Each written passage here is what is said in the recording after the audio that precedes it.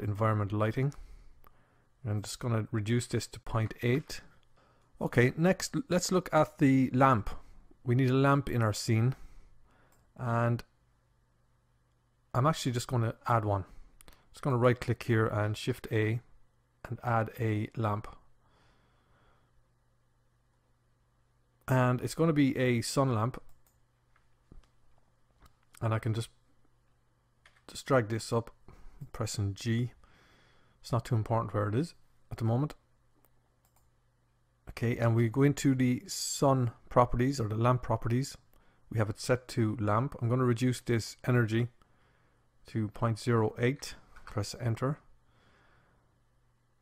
And I'm going to need a sky background. So put a check mark here Okay, and for the blending, I'm going to reduce this to 0.2. Just tone it down, give it a nice gradient effect there. And I'm going to switch it to this option here. Okay. And for the backlight, I'm going to put this as minus 1. And the size, I'm going to put to 4. And I'm going to increase the brightness to 2.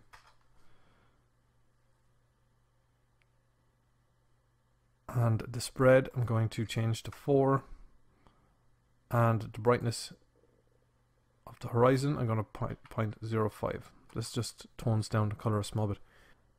And I'm going to come down here and choose ray shadow. Okay and I'm going to leave it there for the lighting at the moment.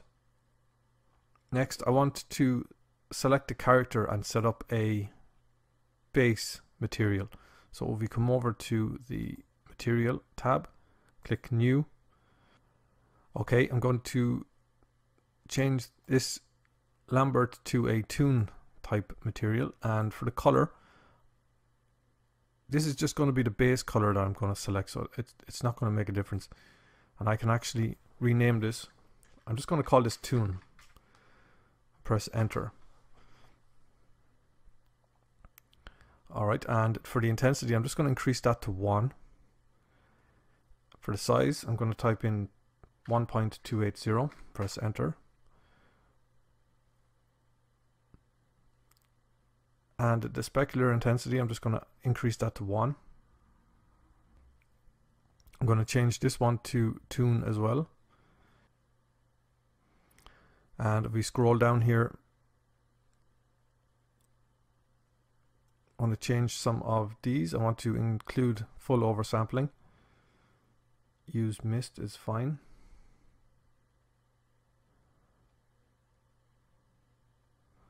And if we come down here to shadow,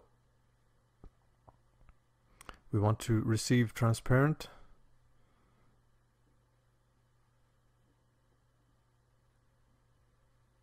And switch off auto ray bias.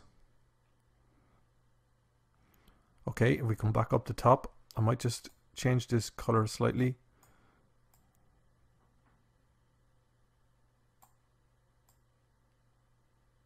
More orangey, kind of get a, maybe go for something for his skin first. Okay, okay, I'm to add a second slot here. I'm to select toon and select plus and rename this to skin press enter. Okay and we can leave the color as it is. I'm going to add a new slot and I'm going to add new. And again I'm going to pick the toon as the base and just click plus. Rename this to hair. Press enter. And for the hair I can change the color a little bit.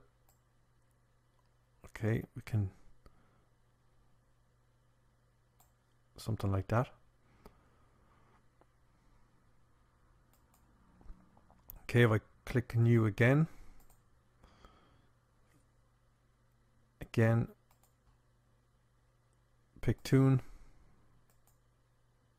click the plus, rename this to, this is going to be for his top. Okay, press enter. I can change that to a kind of a blue.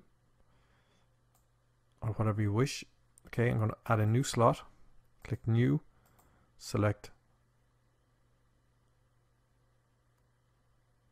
the toon material, click the plus and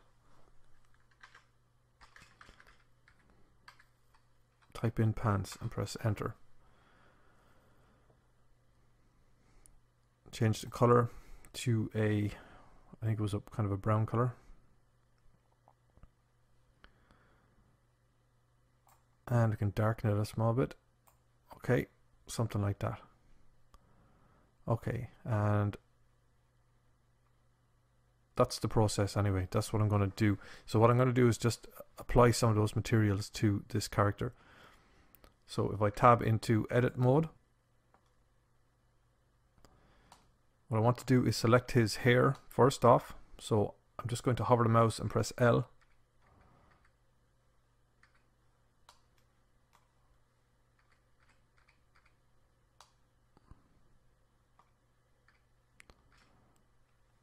select hair and just assign that to okay it's not the nicest color in the world. I'm just going to change this maybe darken it down a little bit.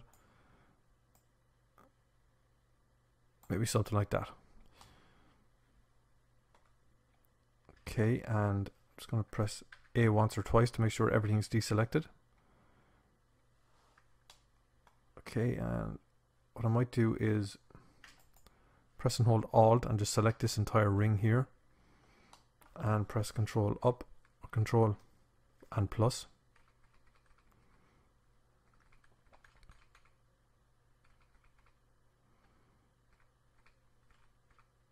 Something like this. And we can just press C. And maybe deselect everything above his neck or from his neck up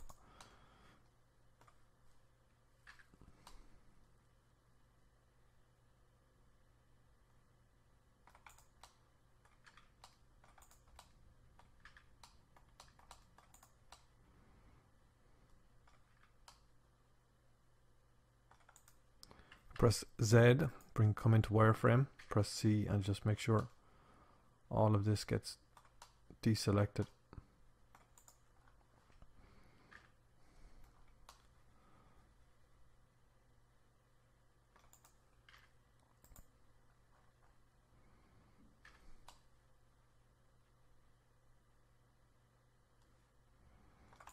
and I might just switch to face selection so control tab and select face and now it might be a little bit easier to deselect all of this. Just go around here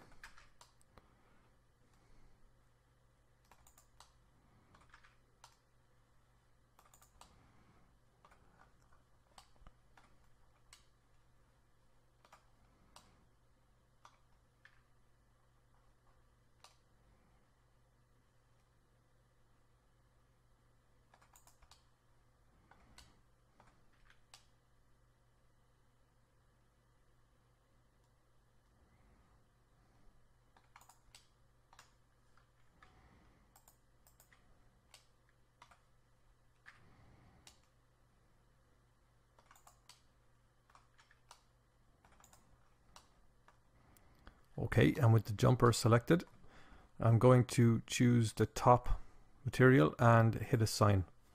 Okay, and I'll just press A to deselect. And what I might do is just select this entire ring around here. So press and hold Alt, do the same thing over here, and Control plus.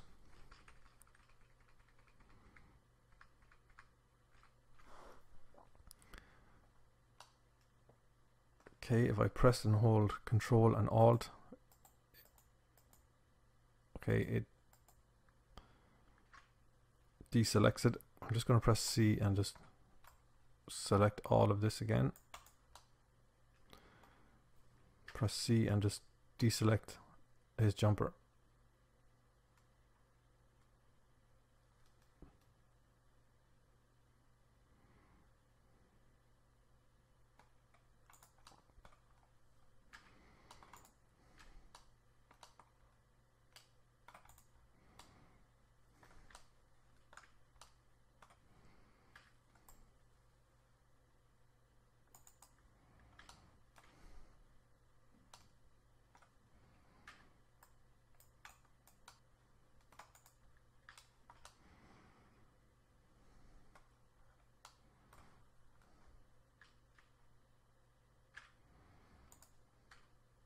Just going to go into side view, press Z for wireframe, press C, just increase this selection wheel and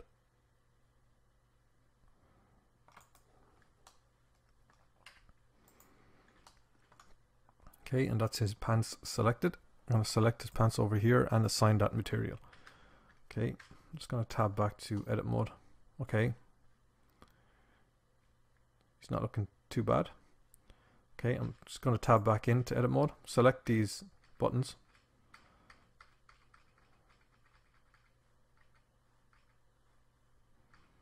Oh, control Z dot. Just L on these. And I'm going to give it the same color as his pants for simplicity. Okay. What else have we got? We have his shoes. So make the shoes I'm going to select press L.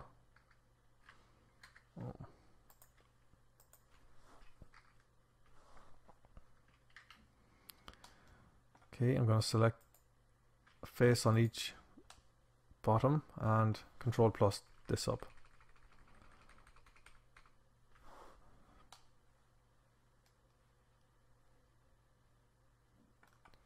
And I'm just going to make it the blue top or the color blue, same as his top.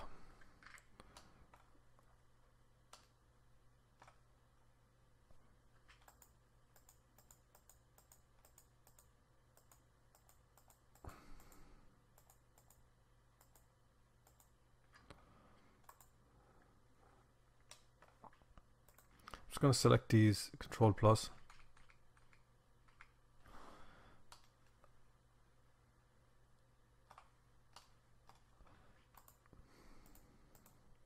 just select all of this I want to change this to a different color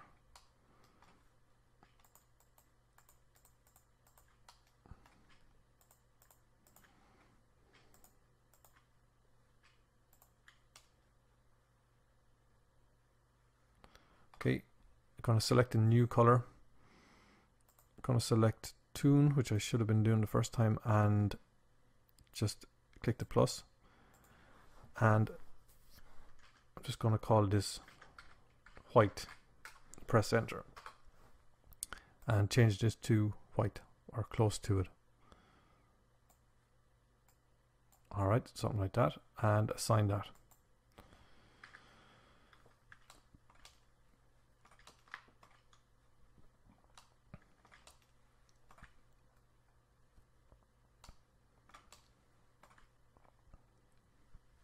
Okay, so his eyes, I'm just going to press L. Actually, I'm, I'm just going to press A once or twice to make sure everything is deselected. Press L. And I'm going to use the white for his eyes. It's probably not a good idea. You could create an, a separate material for his eyes, but I'm just going to do that. Assign that. Alright, and I'm going to press the backspace key. Oh, I can't.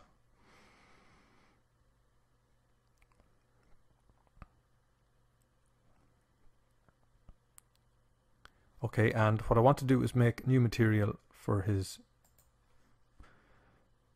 eyes. So I'm going to open a new slot and select toon and click plus and rename this to pupil.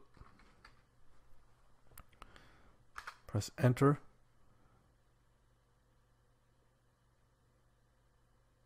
New slot and I'm just going to select the toon again as the base and click plus and type in blue. Now you can have whatever color you wish for his eyes, press enter.